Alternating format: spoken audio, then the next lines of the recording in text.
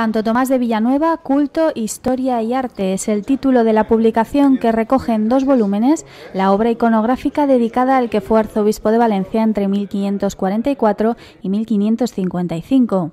El libro fue presentado en el Colegio Seminario La Presentación y Santo Tomás de Villanueva de Valencia por el agustino Antonio Iturbe, prior del monasterio de San Lorenzo del Escorial de Madrid y coordinador de la obra. La presentación del libro, publicado por Ediciones Escurialenses de Madrid y por la Biblioteca del Convento de San Nicolás de Tolentino de Italia, fue clausurada por el arzobispo de Valencia, Monseñor Carlos Osoro. El primer volumen del libro incluye un repertorio geográfico y una galería fotográfica y recopila distintos estudios sobre Santo Tomás de Villanueva. La segunda parte de la obra recoge un índice de artistas, nombres, lugares y referencias iconográficas.